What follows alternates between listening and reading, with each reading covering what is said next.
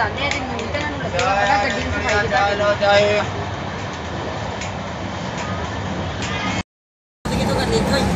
Estoy, estoy. ਤੇ ਮੈਂ Sapna fast news India ਵੱਲੋਂ ਅੱਜ ਮੈਂ ਜੋ ਕਿ ਜਲੰਧਰੋਂ ਜਨ ਸੇਵਾ ਗੱਡੀ ਵਿੱਚ ਗਾੜੀ ਵਿੱਚ ਆ ਰਹੀ ਸੀ।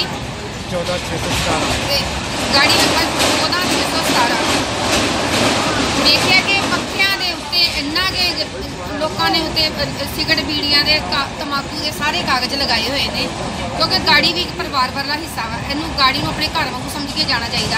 ਇੰਨੀ ਵਧੀਆ ਗਾੜੀ ਤੇ ਇੰਨਾ ਲੋਕਾਂ ਨੇ ਗੰਦ ਪਾਇਆ, ਇੰਨਾ ਜ਼ਿਆਦਾ, ਇਹਨਾਂ ਨੂੰ ਸੋਚਣਾ ਚਾਹੀਦਾ ਕਿ ਅਸੀਂ ਬਾਰੀਆਂ ਕਾਹਦੇ ਵਾਸਤੇ ਲੱਗੀਆਂ? ਅਸੀਂ ਬਾਰੀਆਂ ਦੇ ਵਿੱਚ ਗੰਦ ਪੂਰਾ ਸੁੱਟੀਏ, ਆਪਾਂ ਗੱਡੀ ਨੂੰ ਸਫ਼ਾਈ ਕਰਕੇ ਰੱਖੀਏ।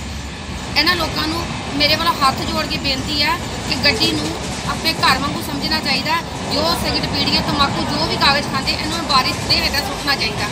ਗੱਡੀ ਨੂੰ ਬਿਲਕੁਲ ਗੰਦ ਨਹੀਂ ਪਾਉਣਾ ਚਾਹੀਦਾ। ਅਸੀਂ ਅਗਲੀ ਨਿਊਜ਼ 'ਚ ਫੇਰ ਜੀ